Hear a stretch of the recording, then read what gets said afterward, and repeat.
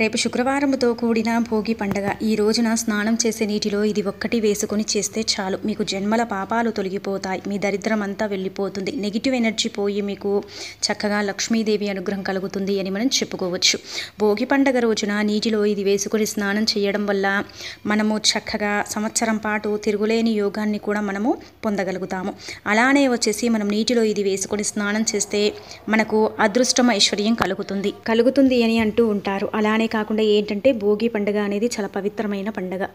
ప్రతి ఒక్కరు కూడా ఏంటంటే తెల్లవారుజామునే లేచి చక్కగా భోగి మంటలను వేస్తారు. అలా భోగి మంటల్ని వేసుకుంటూ మన ఇంట్లో ఉండే పాత వస్తువులన్నిటిని కూడా తెచ్చేసి చక్కగా భోగి మంటల్లో వేసుకుంటారు.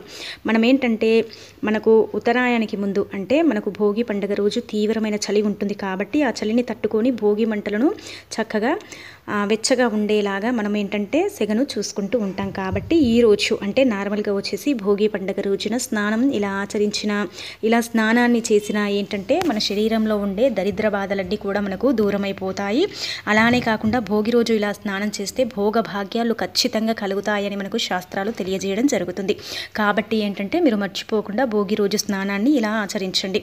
మనం ఏంటంటేనండి భోగి మంటల్లో మనం పాత వస్తువులను వేస్తాము. పాత జ్ఞాపకాలను కూడా వేసేసి ఆ, కొత్త దానికి స్వస్తిక్ మనం పలుకుతూ ఉంటాము. ఎందుకంటే సంవత్సరం అంతా కూడా మనం అనుభవించిన దరిద్రం కానీ కష్టం కానీ అంతా కూడా వెళ్ళిపోయి మళ్ళీ ఈ నూతన సంవత్సరంలో మొదటి పండగ కాబట్టి ఈ మొదటి మొదటి పండగ నుంచి మనకు చక్కగా ఉండాలని మనకన్నీ కూడా అంటే సిద్ధింపబడాలని మంచి యోగాలు కలగాలని మన జీవితం బాగుండాలని మనం కోరుకుంటూ ఉంటాము.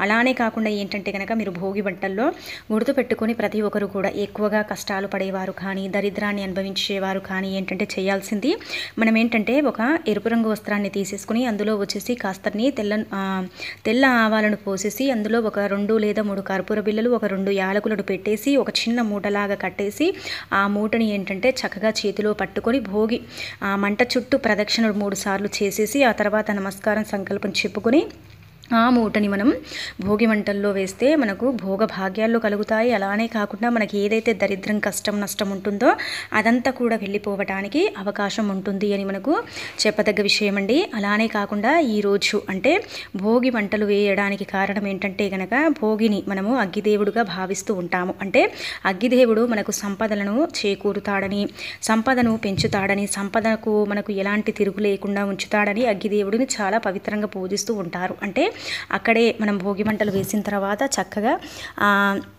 మనం ఆ భోగి మంటల్లోనే నీళ్ళను వేడి చేసేసుకొని ఆ నీటితో మనం స్నానం చేస్తాము. అలా చేయడం చాలా మంచిది. కానీ మనం స్నానం చేసే నీటిలో ఆ నీటిని కలుపుకొని మనం స్నానం చేస్తే ఇంకా అద్భుతమైన ఫలితాలు వస్తాయి. అలాగే కాకుండా స్నానం చేసిన తర్వాత ఖచ్చితంగా మనము నుదుటిన కొంచెమైనా సరే ఆ విభూతిని తీసి మనం పెట్టుకున్నామనుకోండి అగ్గిదేవుడి అనుగ్రహం అనేది మనకు కలుగుతుంది.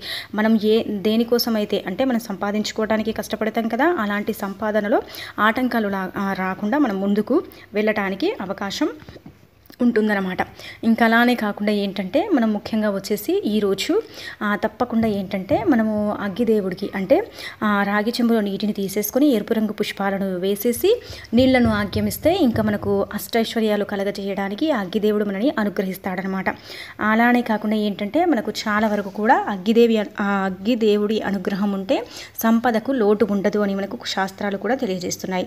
అలానే కాకుండా ఈ కడమ పండుగ ఏంటంటే చాలా వరకు కూడా కష్టాల నుంచి మనం బయటపడేయడానికి చాలా అంటే సారీ అండి భోగి పండుగ చాలా వరకు కూడా ఉపయోగపడుతుంది. భోగ భాగ్యాలతో పాటు లక్ష్మీదేవి అనుగ్రహం కూడా మనకు కలగటానికి ఈ యొక్క స్నానము అలానే కాకుండా మనకు అద్భుతమైన ఫలితాలను తెచ్చిపెడుతుందన్నమాట.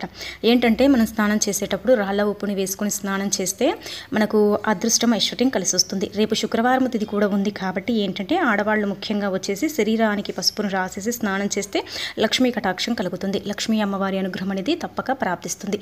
ఎందుకు పసుపుని రాసుకుని స్నానం చేయాలంటే కనుక లక్ష్మీదేవికి ఎంతో ఇష్టమైనది పసుపు. అంటే పసుపు అమ్మవారికి ప్రీతిగా చెబుతూ ఉంటారు. పసుపు లేనిది మనం ఏ శుభకార్యం చేయము. పసుపు అనేది చాలా పవిత్రంగా మనం భావిస్తూ ఉంటాం కాబట్టి అందులో మనకు రేపు భోగి పండుగ. అంటే తిథిని అంటే తిథి వార నక్షత్రం మనకు కలిసి వచ్చింది కాబట్టి చాలా చక్కగా ఉంటుందన్నమాట. అంటే శుక్రవారము అలాగే కాకుండా భోగి పండుగ కాబట్టి ఈ రెండు తిథులు కూడా మనకు అష్ట ఐశ్వర్యాలను తెచ్చిపెట్టి లక్ష్మీదేవి అనుగ్రహాన్ని మనకు కలగచేయటానికి ఉపయోగపడే తిథిగా మనం చెప్పుకోవచ్చు. అలాంటి అద్భుతమైన తిథి మళ్ళీ మళ్ళీ మనకు రాదు కాబట్టి ఈ తిథిని మనం చక్కగా ఉపయోగించుకుంటే మనకు తప్పక అమ్మవారి అనుగ్రహం అనేది కలుగుతుంది.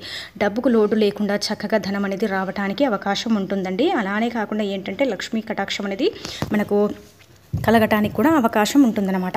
ఈరోజు నార్మల్గా వచ్చేసి ఏంటంటే కనుక మనం చెప్పుకున్నాం కదా ఇలా రాళ్ళ ఉప్పు చిటికెడు పసుపుని వేసుకుని ఆడవాళ్ళు అయితే శరీరానికి చక్కగా పసుపుని పట్టించి స్నానం చేయండి.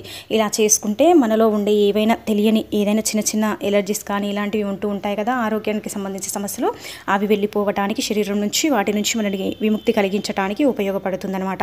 ఇంకా అలానే కాకుండా ఏంటంటే ఈరోజు తప్పకుండా ఏంటంటే కనుక మనము పులగం చేసుకుంటూ ఉంటాం కదా పులగం తినడం వల్ల ఏంటంటే శరీరం అంతా కూడా మనకు చల్లబడి ఉంటుంది కదా వేడిని. అంటే వేడి వేడి పులగం చేసుకొని తినడం వల్ల శరీరంలో వేడిని పుట్టించి చక్కగా మన మనకు శరీరం సహకరించేలాగా తోడ్పడుతుందన్నమాట. అలానే కాకుండా ఈరోజు తప్పకుండా ఏంటంటే లక్ష్మీదేవికి ఇష్టమైన శుక్రవారంతో కూడి వచ్చింది కాబట్టి లక్ష్మీదేవికి ఇష్టమైన నైవేద్యాన్ని చేసి పెట్టండి. లేనివారు ఏంటంటే చిన్న బెల్ల ముక్కనైనా సరే మనం పెట్టవచ్చు. అమ్మవారికి ఈరోజు ఎరుపు రంగు వస్తు మనము పువ్వులతో మనము చక్కగా పూజించుకుంటే అద్భుతమైన ఫలితాలు వస్తాయి. ఈరోజు తప్పక లక్ష్మీ వా- లక్ష్మీ అమ్మవారిని ఆరాధిస్తూ ఉంటారు. అలాగే కాకుండా రకరకాల పరిహారాలను కూడా పూజించుకుంటూ అంటే చేసుకుంటూ అమ్మవారిని పూజించుకుంటూ ఉంటారు. ఎందుకంటే శుక్రవారం రోజు మనకు భోగి వచ్చింది కాబట్టి భోగ భాగ్యాలకు లోటు లేకుండా సంవత్సరం పాటు కూడా చక్కగా ఆ అమ్మవారి అనుగ్రహం కలగాలని ప్రతి ఒక్కరు కూడా కోరుకుంటూ ఉంటారు. కాబట్టి మనం ఏంటంటేనండి ఈ రోజు మనకు శుక్రవారం తిది వచ్చింది కాబట్టి మనకు అమ్మవారి అనుగ్రహం కలగాలంటే మనం చేయాల్సింది పెద్దగా ఏమీ లేదు. ధనానికి లోటు ఉండకూడదు అనుకునేవారు ధాన్యానికి లోటు ఉండకూడదు భోగాలకు అంటే వైభోగాలకు మాకు లోటు ఉండకూడదు అనుకునేవారు. ఈ యొక్క చిన్న ఉపాయం చేయండి. ఏమీ లేదండి మనం అన్ని పనులు చేసేసుకున్న తర్వాత మనం ఎలాగో లక్ష్మీ పూజ చేస్తాము. శుక్రవారం తిది వచ్చింది కాబట్టి అమ్మవారికి చక్కగా ఆవునేతితో దీపారాధన చేయండి. ఈరోజు చక్కగా కొత్త బట్టలని ధరించండి. కొత్త బట్టలను ధరిస్తే భోగభాగ్యాలు ఖచ్చితంగా కలుగుతాయని మనకు మన పెద్దవారు చెబుతూ ఉంటారు. అలానే కాకుండా సంవత్సరం పాటు మనకు బట్టకు లోటు ఉండదని కూడా చెబుతూ ఉంటారు కాబట్టి మనం ఏంటంటే ఇలా కొత్త బట్టలను ధరి మనం ధరించిన తర్వాత చక్కగా లక్ష్మీదేవి పటం ఉంటుంది కదా ఆ పటం ముందు మనము ఎరుపు రంగు పుష్పాలను పెట్టేసి చక్కగా లక్ష్మీదేవికి ఇష్టమైన ఎరుపు రంగు పుష్పాలను పెట్టుకోండి. ఒక పసుపు కొమ్మని తీసేసుకోండి. తీసేసుకొని అమ్మవారి పటం ముందు పెట్టి మనం పూజ చేసుకోవాలి. ఒకవేళ మీ దగ్గర లక్ష్మీ గవ్వలు ఉంటే లక్ష్మీ గవ్వల్ని తీసుకోండి. లేదంటే గోమతి చక్రాలు ఉంటే వాటిని తీసుకోండి. తామర పూసలు ఉంటాయి కదా గింజలు వాటినైనా సరే రెండింటినైనా సరే మనం తీసుకోవచ్చు. ఇవి ఏవి లేవండి అనుకునేవారు కేవలం ఒక పసుపు కొమ్మని తీసేసుకొని ఉపాయం చేసుకోవచ్చు. పసుపు కొమ్మని తీసుకొని అమ్మవారి పటం ముందు పెట్టి అమ్మవారిని చక్కగా ఆరాధించి పూజించి అనంతరం పూజ అనంతరం సాయంకాలం వేళలో చక్కగా సాయంత్రం పూట లక్ష్మీదేవి ముందు పెట్టిన పసుపు కొమ్మని తీసేసి మనం ధనం దాచే చోట దాచుకుంటే ధనానికి ధాన్యానికి లోటు ఉండదు. భోగ భాగ్యాలకు లోటు లేకుండా సంవత్సరం పాటు డబ్బు నిల్వ ఉండటానికి ఆ అమ్మవారి అనుగ్రహం మనకు కలగటానికి ఉపయోగపడే పరిహారంగా మనకు పురాణ శాస్త్రంలో పేర్కొనడం జరుగుతుంది. కాబట్టి ఏంటంటే ఈ రోజు మీరు మర్చిపోకుండా ఈ పరిహారం చేసి చక్కగా లక్ష్మీదేవి అనుగ్రహాన్ని పొందండి. ఇలా స్నానం ఆచరించినా ఈ పరిహారం పాటించినా మీకు ఈ సంవత్సరం అంతా కూడా మీకు తిరుగుండదు. మీరే చక్కగా ఫలితాన్ని పొందుతారని మనం చెప్పుకోవచ్చు. భోగి పండగ కాబట్టి భోగ భాగ్యాలతో పాటు సుఖ సంతోషాలతో చక్కగా ప్రతి ఒకరు కూడా చక్కగా జీవించాలనేదే ఈ పురాణ కథనం. కాబట్టి ఈ యొక్క పరిహారం అనేది చక్కగా నమ్మి చేసుకొని ఖచ్చితంగా మీరు కూడా ఫలితాన్ని పొందుతారని ఆశించడం జరుగుతుంది. కాబట్టి చేసి ఫలితాన్ని పొందండి. ఇక తిరుగు